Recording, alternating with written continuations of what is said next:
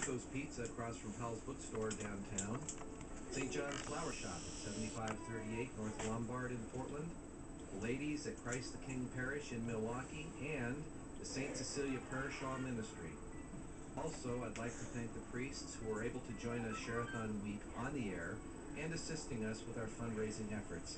It's clear to us, and it's clear to our volunteers who were here taking pledge calls, that their parishioners love them very much. And I'd like to say we do too. And thank you all for your ongoing support. We truly appreciate our donors and business sponsors who help make a positive difference on KBVM FM Catholic Radio. May God bless you abundantly. KBVM Catholic Radio presents the Parish Community Calendar.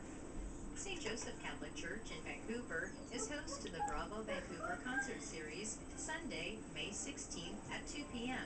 The concert features